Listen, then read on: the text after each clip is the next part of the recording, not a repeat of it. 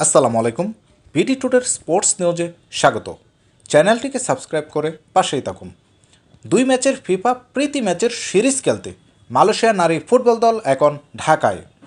সোমবার, দিবাগত রাতে কুয়ালালামপুর থেকে মালয়েশিয়া দল ঢাকায় এসে পৌঁছায়। তেইশ মে, বীর শ্রেষ্ঠ শহীদ সিপাহী মুস্তফা কামাল স্টেডিয়ামে সন্ধ্যা ছয়টায় প্রথম প্রীতি ম্যাচ অনুষ্ঠিত হবে।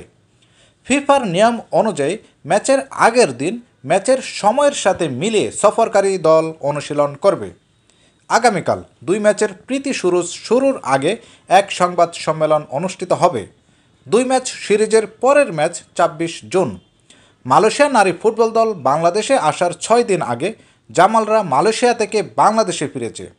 জামালরা মালয়েশিয়ার মাটিতে স্বাগতিকদের হারাতে পারেননি। সাবিনারা নিজেদের মাঠে তাদের নারী ফুটবল দলকে হারাতে পারে কিনা সেটাই দেখার বিষয়।